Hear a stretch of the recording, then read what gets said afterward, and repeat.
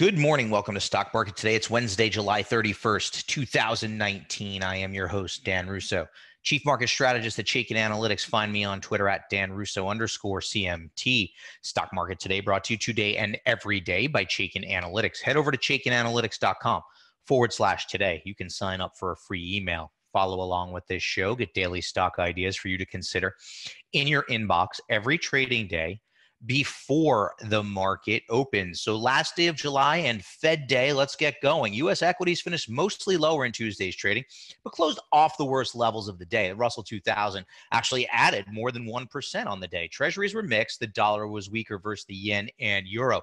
Gold finished up 70 basis points. WTI crude up over 2% and has gained in seven of the last eight session. So all eyes will be on the Fed statement today at the conclusion of their two-day meeting. Expectations widely um, in favor of a 25 basis point cut, but investors will be parsing the comments for signs of future actions by the Feds. And leading up to that, S&P futures are up 10 basis points to start the day. Asian markets were weaker overnight with China underperforming. European markets are mixed. Treasuries are slightly stronger across the curve. Dollar is stronger versus the euro, but weaker versus the yen. Gold adding on 20 basis points, and WTI crude is up 60 basis points following a bigger than expected stockpile draw last night. As we dig in on the market, we can see just kind of spinning our wheels here around the 3000 mark, waiting on the Fed. Quarter point cut, as we said, widely expected. But really, the commentary uh, is going to likely be what drives markets uh, here over the next couple of days. Near term support still around that 3,000 mark. And then, more importantly, in the 2,900 to 2,950 zone, resistance in the 3050 to 3,100 zone.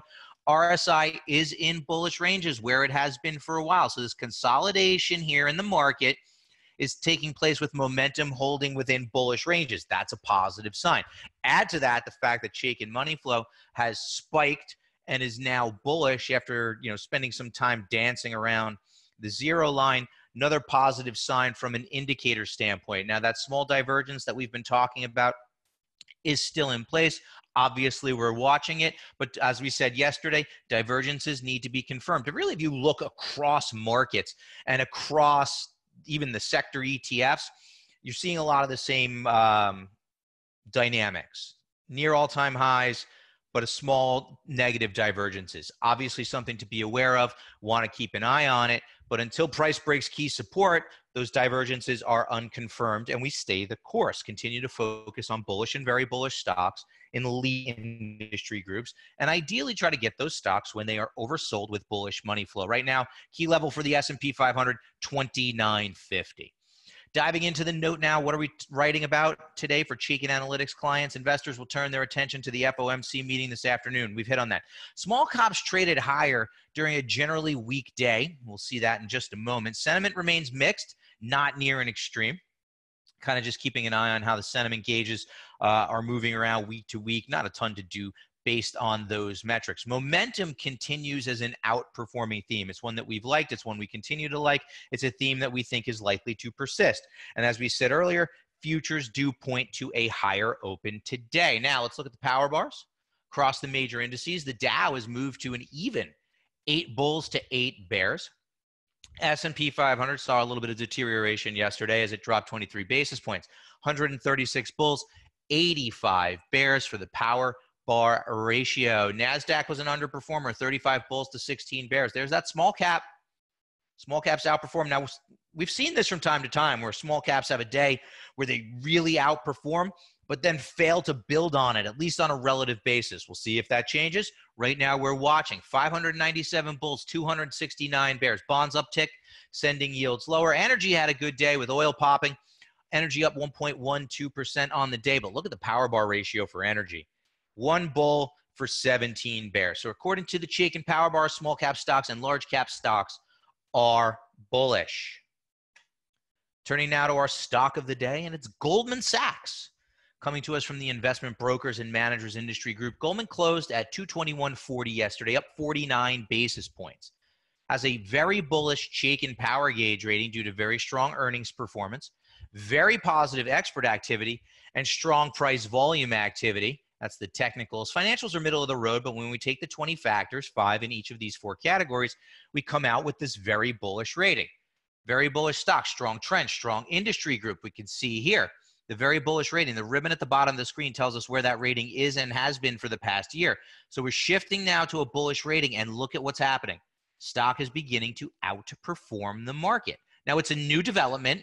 So when we drop down our checklist, it's still going to be neutral because part of this metric is the persistency of outperformance. So there hasn't been a lot of persistency there yet as it is a new development. However, what we do see is what we like to refer to as a personality change for the stock. So what that means is we go from kind of a mixed rating, neutral, bullish, you know, throughout the year, but underperforming to now a bullish rating and outperforming. This is known as a personality change. Add to that the fact that Chaikin Money Flow has turned bullish stock is above a rising long-term trend line. So I think that Goldman is compelling. I just don't think it's compelling here and now.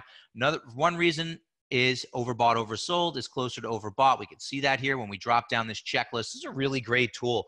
We walk through the process every day, but now you can actually visualize where those metrics that Dan talks about every day, where are they? Power gauge rating strong, relative strength persistency is neutral.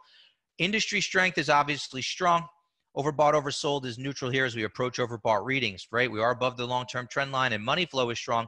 So we're starting to build that mosaic, right? This begins to look interesting when that overbought, oversold indicator rounds back down towards an oversold position, especially if it continues to outperform the market. Keep an eye on Goldman Sachs. I'm throwing it on a bullish watch list here today.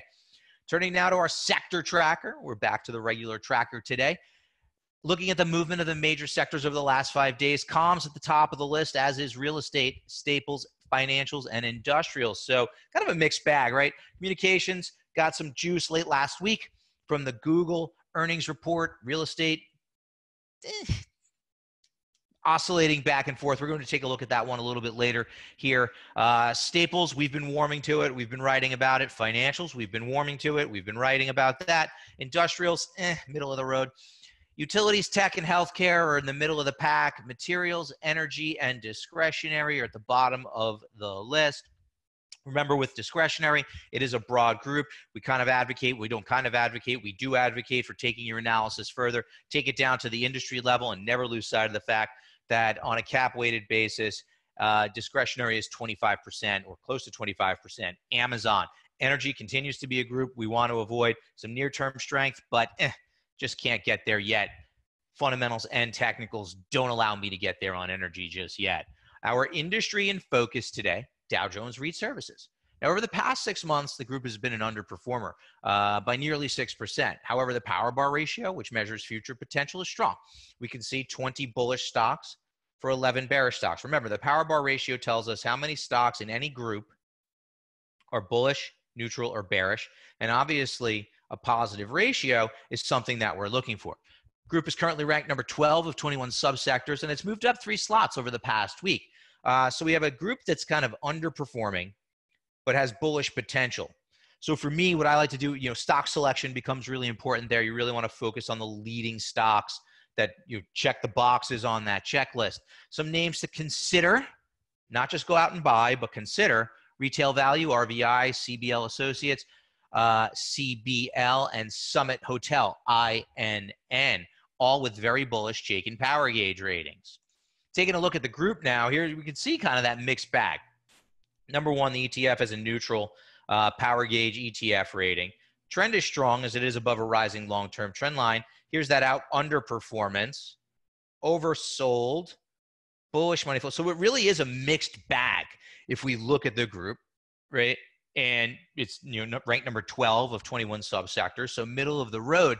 So you can't just blindly go out and buy real estate stocks when this is the setup. You really have to do the work run through the stocks look for the ones that make the most sense and those will be your opportunities. Mixed bag for real estate right now. Trending names now looking at what was moving. Gainers and losers in the s&p 500 yesterday National Oilwell Varco earnings sent that stock up 11% Stock has been beaten down, so a bit of relief. MLM earnings sent that stock higher by nearly 10%. WAB, same thing, 9.5% following their print. INCY, INCY, 6.5% following their earnings announcement. And XEC up over 6% on the day. Loser side of the board, uh, Gartner down 19% as their guidance disappointed. UAA, Under Armour, miss, guide down, takes 12% plus out of the stock. HCA, their EBITDA missed. Investors didn't like what they heard. They're down 9%. Dish, earnings down. Earnings send the stock lower by 8.7%. And PerkinElmer, uh, revenue miss sent that stock lower by 8% on the day. Now, one of the big themes around earnings season is, you know, higher level of beats relative to average, right? Generally speaking, beats are being rewarded more than they have been on average. Misses are not being punished as much as they have been on average, but something to just kind of be aware of and keep in mind. Companies are kind of talking down numbers for the second half of the year. So, second half expectations have become tempered here with this uh, series of earnings so far if in the earnings season. Taking a look at our update now, let's check out who's reporting today. Willis Towers Watson, Molson Coors, and NI are bullish stocks before the open. After the close, Cognizant, Hologic, MetLife, Pru, LNC, a lot of those uh, insurance stocks, right? Insurance been one of the leading industry groups for a while. We'll start to hear from some of the bullish stocks within that group. Neutral names before the open of interest: Humana, GE, uh, AMT, CME. After the close, neutral stocks that'll be on people's radar screens. Obviously, Qualcomm, EQIX, Western Digital uh, uh, in focus. Bearish names, SPG and Garmin before the open, APA and Oxy after the close. Chaikin suggests caution when holding bearish stocks ahead of earnings. So let's dive right in now. On Wednesdays, we take a look at how the sentiment indicators that we track uh, are, are doing. And sentiment indicators are mixed for the most part. What we're showing here is the CBOE equity put call ratio. And you can see it's kind of moved higher a little bit here in the near term, but it's middle of the road, not quite at an extreme that would warrant taking a contrary stance one way or the other. And it really kind of lines up that way across the board. Seen a little bit of a pickup in the VIX over the past week, nothing major. If we look at the CNN Fear Greed Index, moved from 50 to 53 this week. So, you know, slight move towards greed, but nothing really to get too concerned about and still remains within a neutral position. So the indicators are mixed. And as I said, not really pointing one way or the other, right? When they become extreme, like they did back in the beginning of the year when the market was cratering, it kind of makes sense to think about taking a contrary stance but uh, we're just not there yet. So we'll continue to monitor these on a weekly basis. And when the opportunities present themselves, we will point them out in our notes and on this show. One of the themes that we do like in the marketplace is momentum. We've liked it for a while. What we're taking a look at here is MTUM, the iShares MSCI Momentum Factor ETF. And we can see a nice steady uptrend above the 200 day moving average, above these support levels, kind of in the 119, 120 area um, RSI confirming the trend. Notice that RSI has not become oversold, continues to hold within bullish ranges. A couple of times it's peaked its head above the 70 level, indicating that it's becoming overbought. To me, that's a sign of strength from a trend perspective.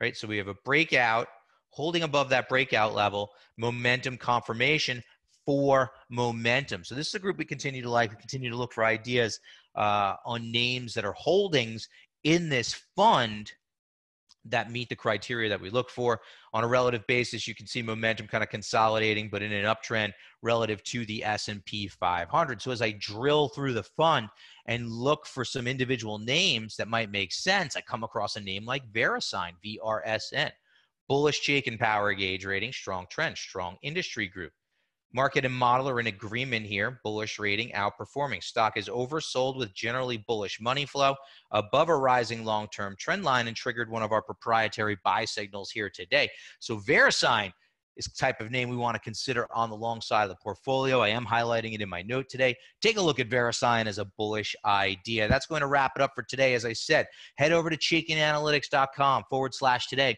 where you can sign up for that free email. A lot of the content for this show comes out of the content in that email, so you'll be able to follow along. Some stock ideas for you to consider in your inbox every day before the market opens. I will see you tomorrow.